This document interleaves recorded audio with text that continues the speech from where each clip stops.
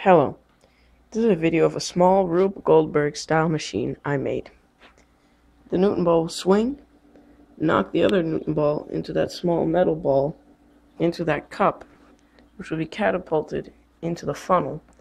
The ball will roll down the tube into the little bucket, which will be swung by this golf ball, and the metal ball will land in this bamboo bucket, and it will roll down these bamboo skewers, roll down into that tube. It will land in the Snapple cap. It happens quite fast, so you might need to pause it to see what happens.